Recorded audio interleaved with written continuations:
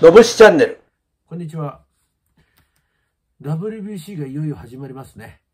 えー、今ね、各プロ野球団と、まあ、交換試合みたいなものやってますけども、えー、私の身内が、えー、先日のね、京セラドームで行われた対阪神戦、えー、見に行きました。で、動画も見せてもらったんだけど、えー、ライトスタンドの5階席で見てたような阪神はですね、えー、そこに大谷君試合目のフリーバッティングで打ち込んでくるそうなんですよ。まあ、ゲームの日本塁打も驚きましたけど、えー、フリーバッティングで5階席に来るっていうのはね、あの、相当な力を持ってますよね。あの、今日はね、まあ、大谷君についてちょっとお話しさせていただこうかなと思います。どうぞよろしくお願いします。えっ、とね、私、実は大谷君と一度会ったことがあるんですね。えー、とは言っても、まあ、プロ入りする前の高校時代です。えー、花巻東高校がね、えー、ちょうど今ぐらい、もうちょっと前かな、2月ぐらいの時期に、草薙球場に、えー、選抜前にキャンプに来てるんですよ。で、当時草薙球場ってのは、えー、改修工事直前の時期で、えー、っとね、もともともう工事ということで予定を外しちゃったそうなんですけど、急遽そこにね、まあ、なんとか入ってきたのが花巻さんだったと。で、花巻帰ってすぐに改修工事に入ったんで、旧草薙企業を最後に使ったのは大谷君の時の花巻なんですね。で、私、まあ、人のまあ、つながりがあって、あの、どうぞということで行ってね、まあ、一日でしたけど、朝から晩まで練習を、えー、見せていただいて、えー大谷君のピッチングから、バッティングから、えー、一本バッティングから、もうノックまで全部見ました。えっ、ー、とね、思い出を、一日の中の思い出ですけど言っていくとね、朝ね、えー、早めに着いてグラウンドで待っててもまだいないんですよ。で、選手がバスで来たと。で、選手ぞろぞろと道具を持ってくるんです。で監督さん、私、佐々木先生探してたんだけど、おられない。選手にね、あの、佐々木先生はいらっしゃいますか？と聞いたら、とりに答えてくれたのは大谷君だったです。あの、監督は走ってきます。まだもう少し遅れてきます。あの、大谷君っていう子は知ってたんですね。雑誌とかで載ってたから。だけど、そこまで私も意識してなかったんだけど、あの、答えてハッとし、あ、この子大谷君だなって。まあ、体大きかったですけど、はい。いうぐらいに、あの、周りに馴染んで、いい子でしたね。で、練習始まって、その日はね、確か土日で、まあ、私もお世話になってる、まあ、学校の生徒さんが、三塁ベンチの方で練習見学をね、半日ぐらいさせてもらってたと思うんです。で、そこのチーム、私もちょっと出入りしてたもんですから、子供らがね、大谷はどこ、大谷はどこって探すんです。で、ライトの方でキャッチボールしてた。今でも覚えてますね。で、10メートル程度の距離で、軽くやって、キャッチボール始めたところでしたね。そしたら、えそこの学校の子供たちが、中田さん、大谷はプロへ行きますかと、こう言うんです。もう大きな怪我しなきゃ間違いなく行くよと、こう言った記憶がある。そんな話をしながら見てたらですね、10メートルの距離大谷君が投げたら、ポーンと、突っぽ抜けて暴投したんですよ。それで私言いました。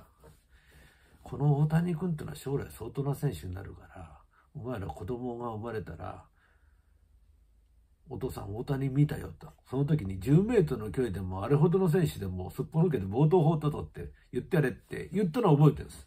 今でも私は覚えてるんだけど、だから君らがボールを放れなくたって恥ずかしいことじゃないんだから。こんな話をした思い出があります。えー、その時はね、ピッチャーとして注目してみたんですけど、ちょっとね、腕の高さをちょっと無理にちょっと、何なんだろうな、えー、高くしようとして、腕が触れてなかったっていうのが正直な印象。えー、夏に160キロをね、岩手で出した時には腕が触れる、ちょっと、まあ今の角度に近い角度で振ってて、あ、変わったなと思ったのを覚えてますから、選抜の時はどこかぎこちなく放ってました。えー、甲子園でも春夏連覇して大阪桐蔭と初戦で当たって負けてしまうんだけど、やっぱりこう、草薙で見た、えー、感じを引きずって投げてるような感じでね、ちょっとピッチングとしては制裁がなかったなと。でもバッターとしてはきっちり藤浪君からホームラン打ってますからね、高校時でも。だから私はあの、大谷君っていうのはね、その後やったフリーバッティング見てね、あ、バッティングの方がやっぱ見どころある子だなと思ってましたね、当時から。でもまさかこんな選手になるとは思わなかった。えー、プロで20本、30本打てるバッターになるんじゃないかっていうふうには思いました。まあ、それよりも私がね、一番感動したのは実はね、内野ノックなんですよ。もうね、あの、えー、大谷君はピッチャーに入ってましたけど、まあ、大谷君云々よりもね、えー、内野のもうノック、えー、内野守備が素晴らしかったですね、花巻は。あの私が今まで見た中で、グラウンドの土の上をね、スケートリンクのようにフットワークで滑ってるぐらいにこう流れるように、えー、ボールに突進して取って投げてるチームが今まで2つ 2, チーム感じた経験があって1つは全国優勝したこの常秋グアのノックです。もう1つはこの花巻東。この2校だけなんですね。そこまで思ったのは。もうグラウンドの中を氷のスケートリンクのように足が動いてましたね。そして、まあ、花巻の内野の特に取って投げた後に、右投げだったら右足がもう一歩前に出るぐらい体がきれいに切れてパーンと体重が前に行く。言葉で言うとちょっとうまく伝わるか分かりませんけど、はい。右左で投げて最後のもう一個右足が出てきて終わるぐらいの体重移動とひねりがうまく使えるスローイングをされてた花巻東。これが私の一番の思いです。ただチームとして花巻さん、甲子園の当時のレベルからすると、打力がちょっと劣るチームかなと私は思ったので、うん、大阪桐蔭とくじ運がどうなるっていうのは分からない段階でしたけど、まあ、私がいろいろ全国の野球を見てきた流れの中でベスト8ぐらいの力はあるけれどもそれより上の、えー、最後の3つは厳しいかなという印象を持った、えー、草薙キャンプでしたしかしまあ本当にベンチ前に道具とかを置いてあるんだけども隙がないっていうかねピシャピシャピシャピシャっときっちりとこうえー、並べられた、え、スパイクだとかグローブだとかキャッチャー道具とかああいうのを見た時にねあこういうチームなんだと。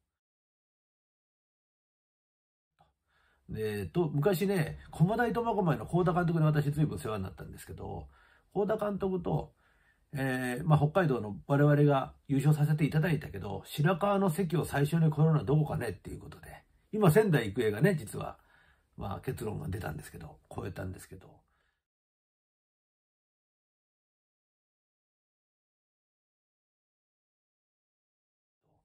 当時幸田さんは花巻か聖光学院じゃないかなっておっしゃってましたね。はい。そんな、まあ、あの、俺たちも花巻から真似させてもらってることあったし、いいチームだよって聞いてたもんですから、私も興味があって、え見せていただきましたけど、確かに一つ形を持ったチームだったと。その中からああいう選手が育ったことはね。そして今、佐々木監督の息子さんがいますけどね、花巻の甲子園で勝ち上がるにちょっと私がこういうと偉そうですけど言うとちょっと弱点かなと思ってたバッティング、えー、きっと今変わってきておられるんじゃないかと思いますね。えー、あれだけいい野球されて甲子園何度も来られてるけどなかなか頂点には届かない。最後の3つ勝つっていうのはそのぐらい難しいんだろうと思うんですけど僕は花巻は、えー、強力打線を作ったら駆け上がるだけのチーム力持ってるチームじゃないかなと思っております。はい。それではね、あの、WBC、えー、大谷君、えー、5階席に放り込む打力があるそうですから、えー、本番でもね、一発ぶち込んでいただきたいものです。はい、期待しております。本日は以上です。のぶしプロジェクト。教えて、イチローさん。イチローさん。イチローさん。イチローさん。イチローさん？一郎さん。一郎さん。一郎さん。一郎さん。一郎さん。一郎さん。一郎さん。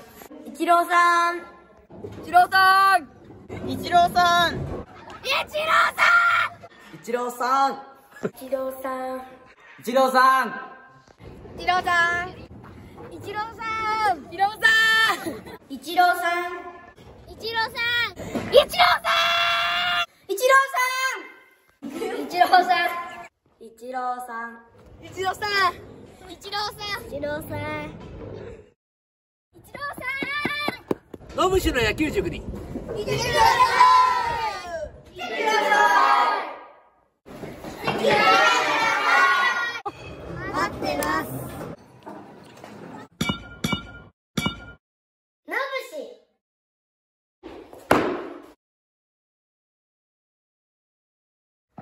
ごめん。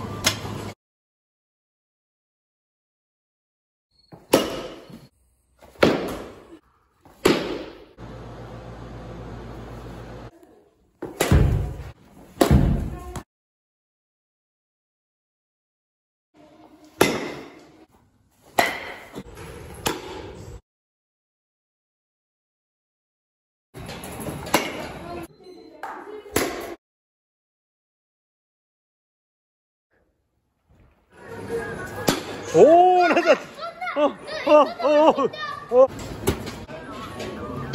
おおお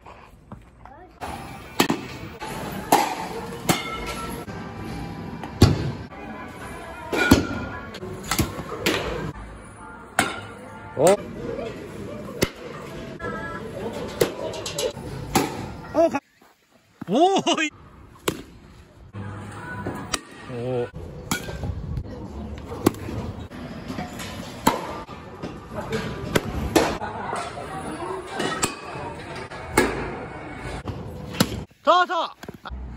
そうそう。おおおお。いけいいけい。